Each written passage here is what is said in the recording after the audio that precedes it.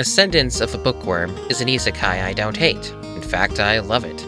I'm brutal on isekai. They've become a dumping ground for power fantasies, usually from authors who haven't graduated from writing fanfiction. When I'm watching one, my expectations are set very low.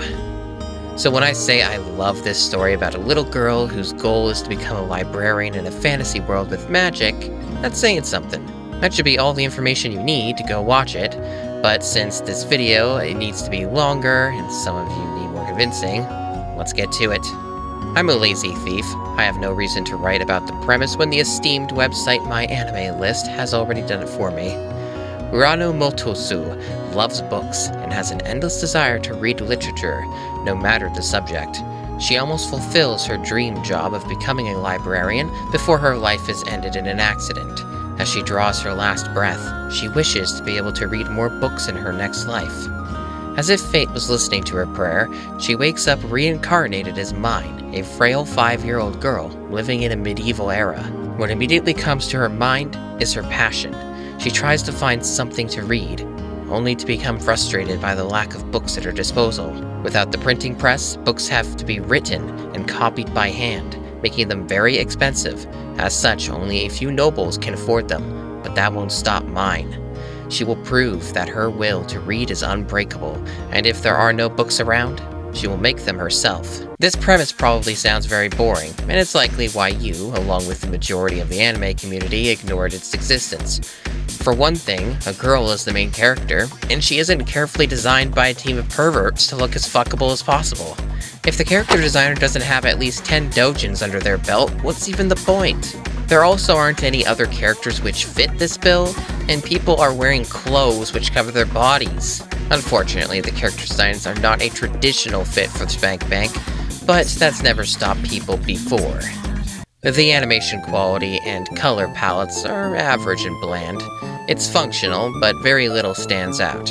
The studio doing this adaptation, Ajia-do, whatever the fuck, is one I've not even heard of. But they've been around since the beginning of the 90s. Holy shit. One of their recent works is another isekai. How not to summon a demon lord. Which, uh, to say the least, is quite a different story.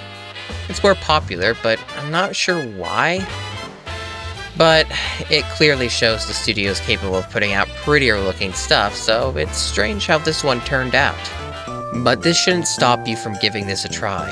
Appearances aside, there's a well-told, wholesome story that isn't without its dramatic twists and turns. The character writing is excellent. Mine is a sympathetic MC.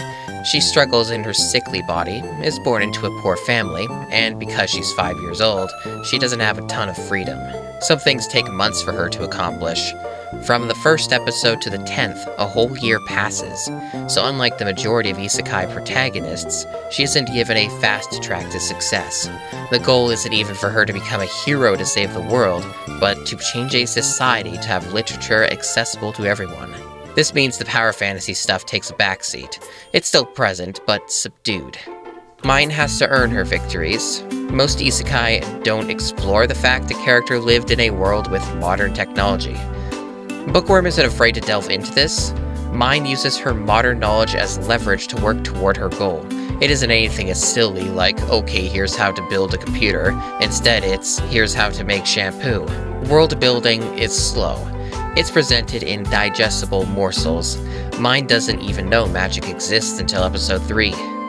Anything which prevents an info dump is good. Uh, many things are shown rather than told. Other things are easily inferred rather than explained to the audience. Mine is very smart, but she's not a super genius. She makes mistakes, and her lack of communication skills can cause problems. This helps keep me immersed in the story. Characters with flaws are interesting. Many interactions with her family are wholesome. When she first came to the world, she was understandably put off from accepting them, but over time her feelings changed. A lot of the stuff involving her family are about helping each other. I'd say at times it comes off as a bit unrealistic how accepting they are, about how different and smart their daughter has become. Like, they are too nice. But considering the original Mine spent a lot of her time in bed fucking dying, I'd guess they're more happy seeing their daughter alive and out of bed. There are dark elements. I said original mine. I mean, a five year old existed by the name Mine, and when she died from a fever, this college graduate took over her body. This isn't reincarnation or teleportation, it's hijacking the body of a dead little girl. That's fucked up.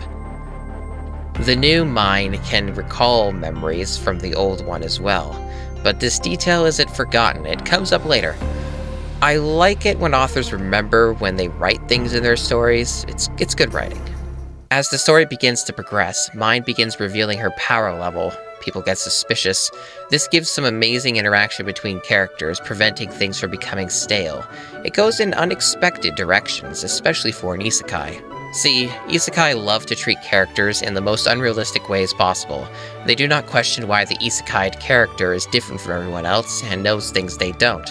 You'd think a simple question from one of their friends or loved ones would be, So why are you a fucking weirdo? I would like a lot more isekai if they gave thought to how people behave in the real world. I like it when characters aren't defined by their tropes. I realize I'm making a lot of harsh comparisons to other isekai, probably many of which are favorites. Just know that it's out of love.